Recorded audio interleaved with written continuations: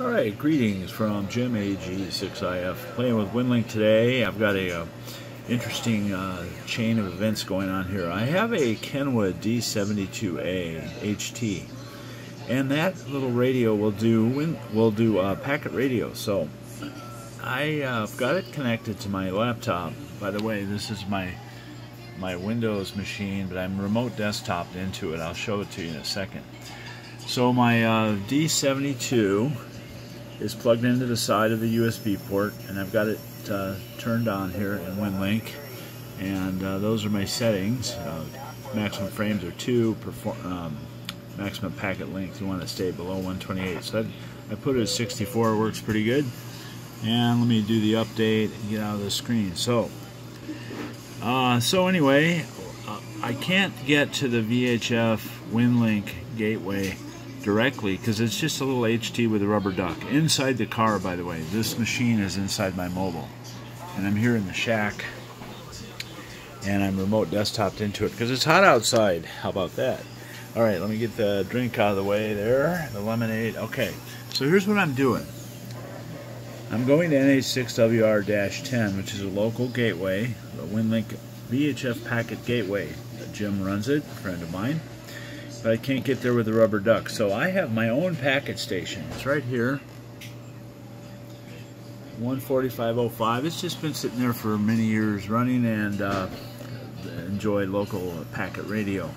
So how I get to the HT, from the HT, I bounce through my packet station. My packet station, even on low power, uh, it has a AG6IF 3DFL antenna and I can get to Jim's gateway. So here we go. Uh, WinLink. So come over here and hit start and you'll see some uh, activity here. So we're gonna pick up the HT's little rubber duck on my packet station here. Second here, it'll start going. Let me, uh, might have to turn volume up so you can hear a little bit. Okay, so we're gonna pop, we're gonna hop through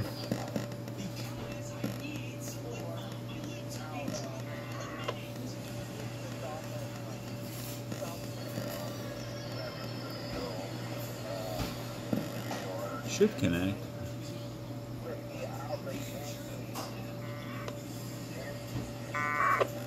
Okay, there we go. So that handshake is starting up. You can see the green and red lights for transmit and receive. Come back over to the screen here. This guy is connected and it's going to go check my WinLink box, which I believe I've emptied it. All my outgoing mail is zeroed out and so forth. So Let's of watch both of these at the same time, maybe.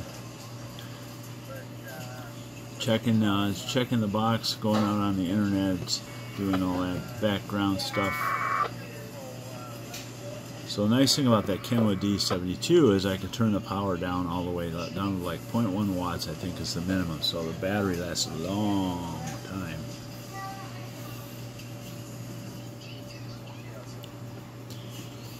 So it won't take but a second here. This will be uh, done. It'll disconnect.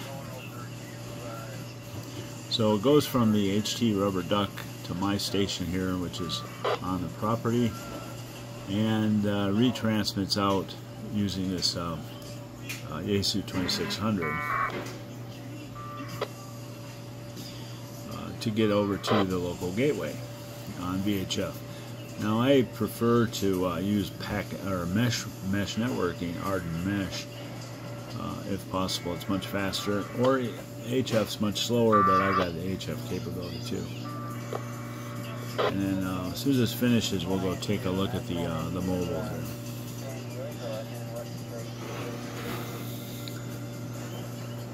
So everything comes off the rubber duck, gets retransmitted in both directions. Lot of handshaking going on there.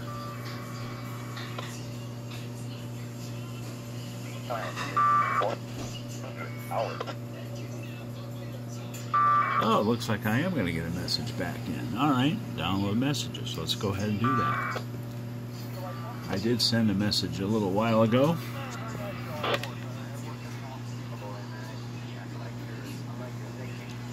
So it's going to go retrieve a reply to an earlier message that I sent. And it looks like it might be from our ARES coordinator, Mark.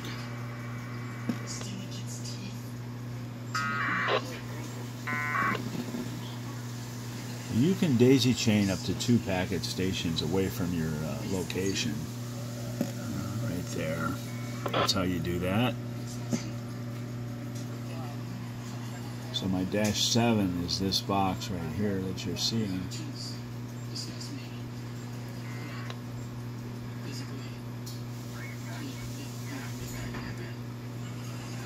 It's not real fast, but it works. That's the important part.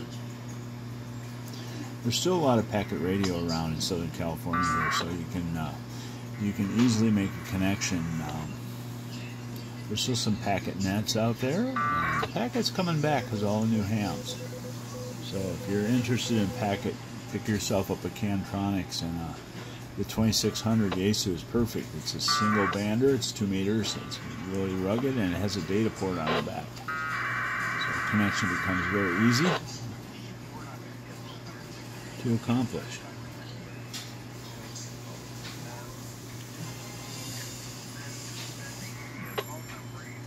So each chunk of data has to be sent and retransmitted through the store and forward type arrangement. That's how packet works. And you can string a bunch of packet stations together and go a long ways to get from your location to a destination somewhere else. I jump on a used to jump on a Sunday night packet net in Breckenridge uh, from here in Southern California near San Diego. I had to hop through two or three mountaintop stations. The packets take a little longer, but uh, it does work. It's fun. There's a little chat net.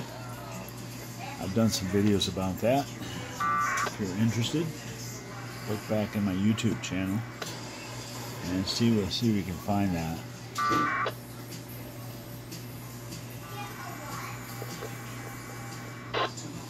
So the receive transmission that has a full SWR is from the uh, HT in the driveway, and the other one is probably from the other station.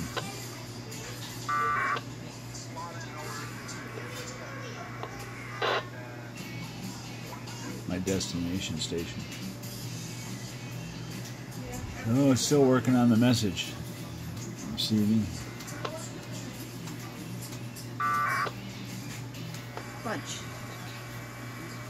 All right, getting closer.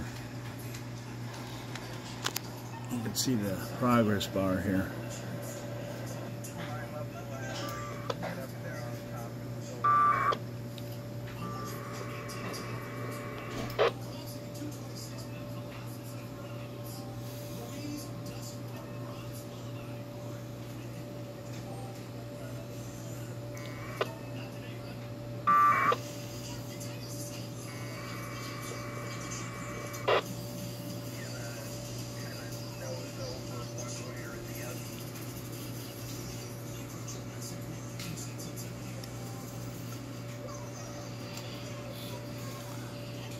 We have an APRS transmitter here in the shack also, and that was just sending out a weather report from Australia for some reason.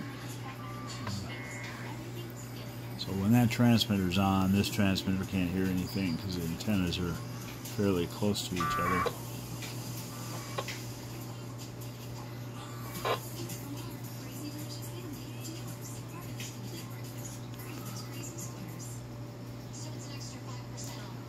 As this ping pongs back and forth.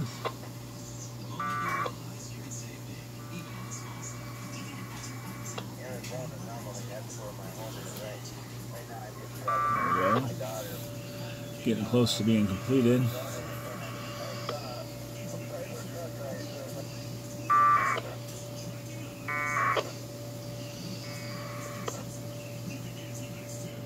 Okay, the bar is completed. Link checksum error. Okay. I've not seen a link error before. I'll have to see what causes that. It's most likely from the other transmitter here.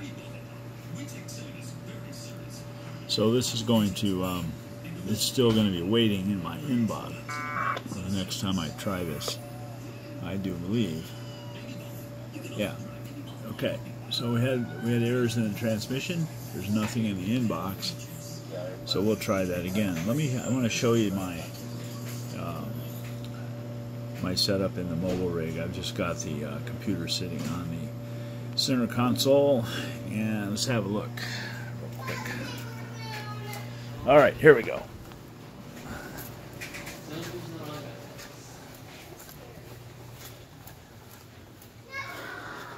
Check this out outside. Hot day in Southern California here.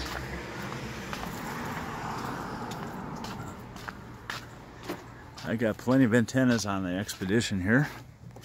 2.4 gigs on down to HF. All right, so here we are with the computer center console. There's my 72, my D72 right there. Just playing with rubber duck. And works just great in a pinch. It will allow me to have VHF packet WinLink here also without having a separate TNC. So, all right, there we go. Thanks for watching AG6IF here. And have a great day. 7 3.